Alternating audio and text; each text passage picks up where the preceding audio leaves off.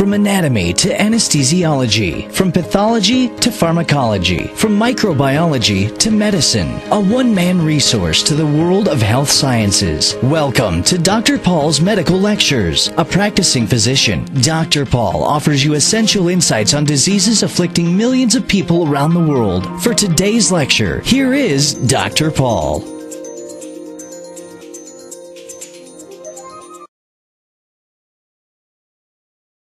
Today I want to talk a few minutes about uh, neonatal abstinence syndrome. Neonatal abstinence syndrome is basically, let me put it simply, you got a mom, a pregnant woman came to you. She was on drugs throughout the pregnancy, like opium, like morphine or methadone or heroin. Now she gave birth to a baby and you got this newborn baby in your hands and this baby is going through withdrawal effects from the opium because she got the opium from the mother in utero. Now, after delivery, the baby is developing the withdrawal symptoms. So basically that is neonatal abstinence syndrome. It is growing. I mean, it's tragic because so many women are using drugs even during pregnancy. The most commonly abused drugs are morphine and methadone. In the general population, heroin is the most commonly abused opioid. Remember that. Heroin is the most commonly abused opioid. And uh, when it goes to the baby, the baby will develop these withdrawal symptoms. That's called neonatal abstinence syndrome. For addicted pregnant women, many times we give methadone for heroin withdrawal, right? Like uh, in if and the patient is in rehabilitation, we give methadone. So when these mothers are in methadone, that passes into the baby and the baby develops uh, methadone withdrawal. So any of these things can cause. So you got the newborn baby and uh, examine the baby. Any CNS symptoms like uh, irritability, hypertonicity, or high-pitched fever, uh, or sorry, high-pitched cry, or increased yawning or sneezing, and uh, examine their skin for any skin excoriation.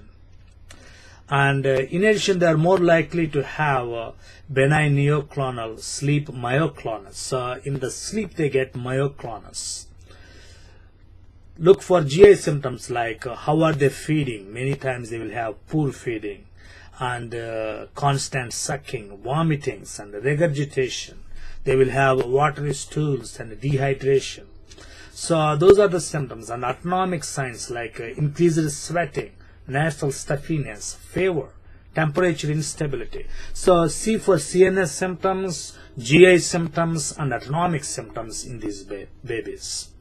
So the withdrawal from heroin is usually apparent within 48 hours after the birth. So the heroin within 48 hours.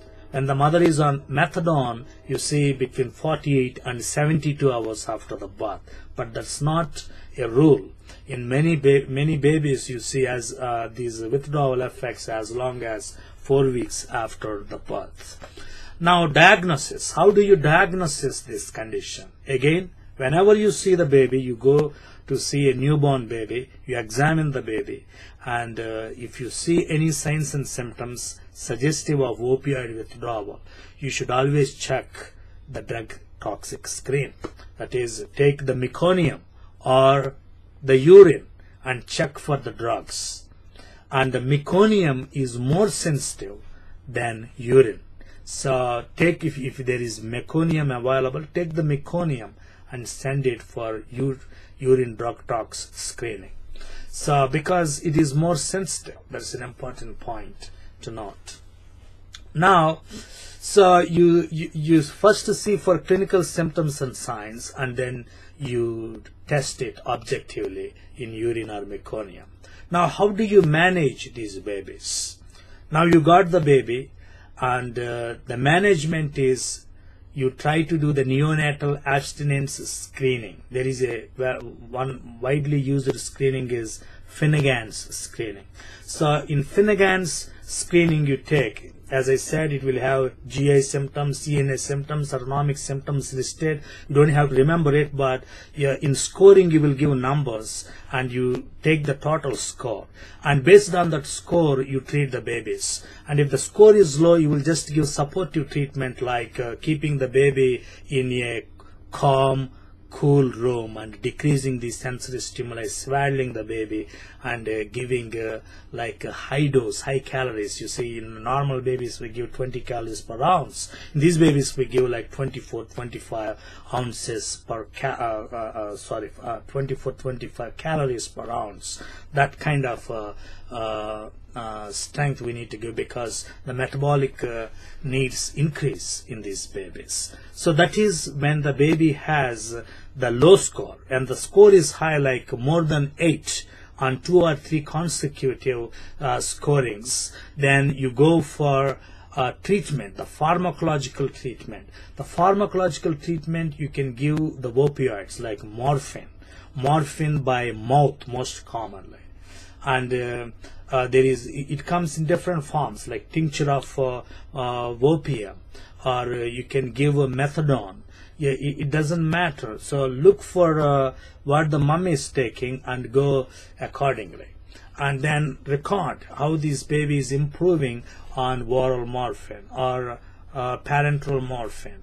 And you can also uh, when the baby has to sleep you can use phenobarbital because that's a sedative agent and it is helpful to put the baby to sleep. And there are other drugs like clonidine, clonidine or chlorpromazine, that is Libria.